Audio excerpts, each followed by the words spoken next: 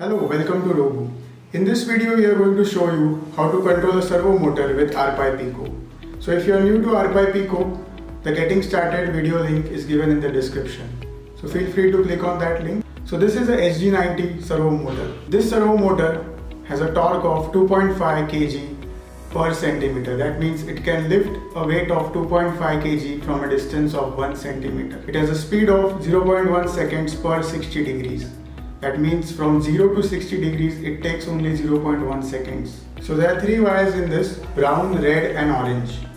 So I will connect these wires. So brown is the ground, red is 5 volts and orange is the control signal. So the control signal is a PWM signal. So what is a PWM? PWM stands for pulse width modulation. So the pulse width modulation signal, the output goes high and low, but the high time is varied and that determines the angle of the servo motor.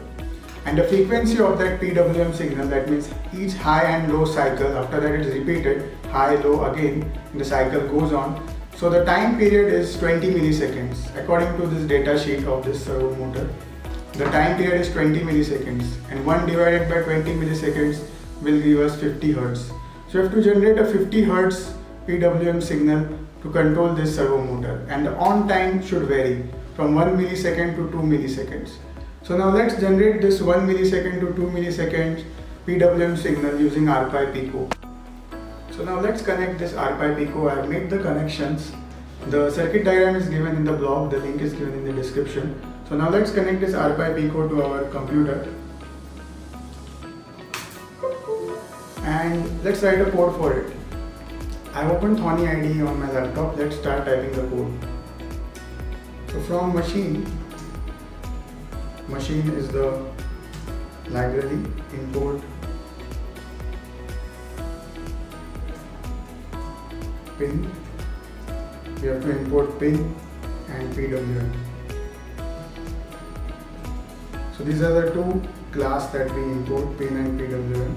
Now have to on which pin we have connected the servo motor we have to connect the pin specify that. Now to write a code to mention the pin on which we have connected the servo motor. So right here PWM is equal to PWM in the bracket pin 15. So on pin 15 we have connected the servo motor. Now we have to specify the frequency. So PWM dot frequency we have to pass here 50. So this tells the microcontroller that we are generating a 50 Hertz PWM signal because we want the time period to be 20 millisecond, right? And the on time we are varying. So we have set the PWM dot frequency 50, that means 50 Hertz is being generated. Now we will set the PWM duty cycle, which is 1 millisecond. So PWM dot duty is the function underscore u16. Inside this function we will pass a number. So 65535 which is 65535 is for a maximum which is 20 millisecond and 3 so I've calculated. So if 65535 is 20 millisecond then 1 millisecond should be 3277 so this function pwm dot duty underscore u16 this accepts a number. So 65535 is for 20 millisecond. So we have to pass 3277 for 1 millisecond on time. So I've typed here 3277 now let's run the code.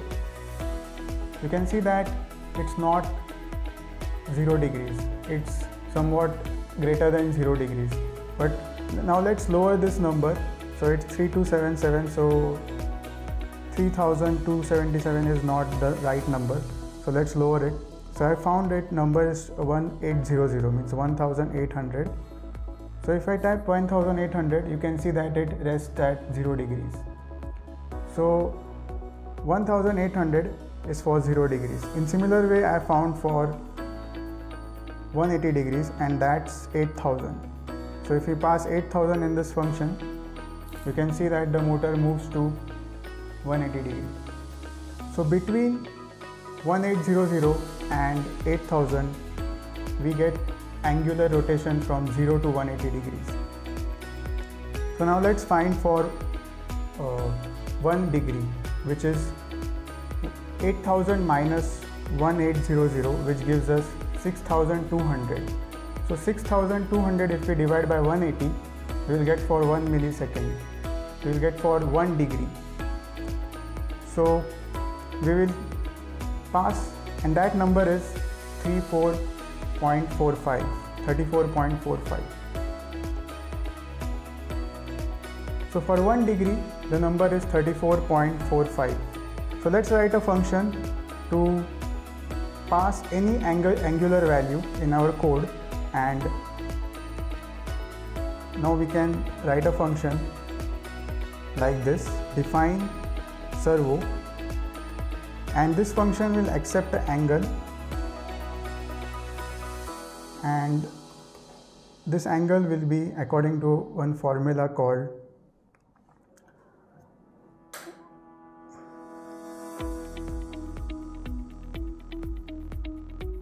okay so we now have to write a code for this angle.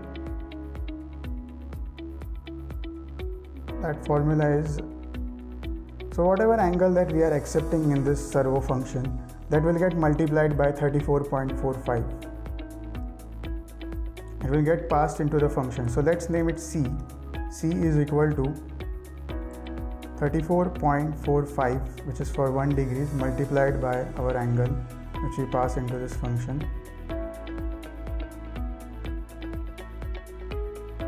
Okay. And this we convert to and yes we also have to add 1800 to it right? Because it will start from 0 degrees. So have to write here plus 1800 so whatever angle it's multiplied by 34.45 which is for 1 degree plus 1800 now we'll pass this c into this function pwm dot duty underscore u16 we'll pass in this this c value is our calculated angle. So yes now let's pass some value into this servo function that we have created and run the code. So I will pass here 90 degrees inside the servo function and now let's run the code. It's uh, saying can't convert float to int. Okay. So we have to convert it into integer. Yes. Now it will uh, so see it moves to 90 degree so if we pass 90 here we get a 90 degree on this servo. If we pass here 180 degree and run this code we get 180 degrees. If we pass here 45 degrees we get 45 so in this way uh, the code is written and you can also uh, move between any two angles. You can run a for loop. So let's write a for loop which will go from in 45 to 90 so I'll write for i in range.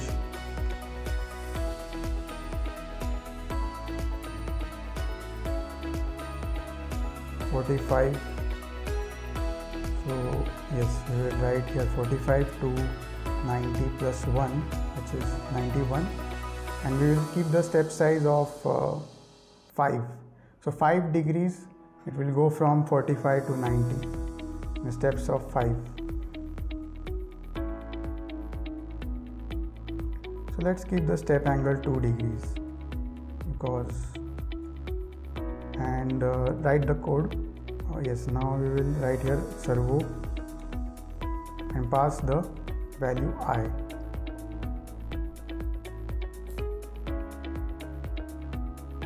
Yes, we also have to give some delay between this. So we import time.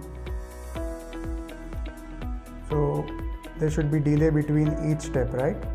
So we'll write here time dot sleep underscore milliseconds. So we'll give a delay of 200 milliseconds.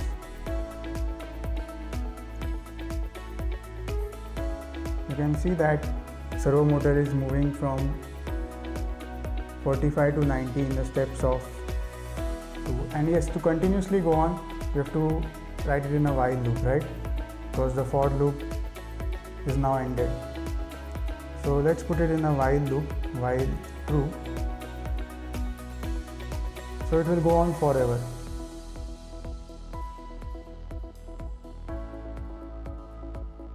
So this was the project. If you found this project useful, give this video a like, comment your favorite part in the comment section, subscribe to this channel for more amazing content.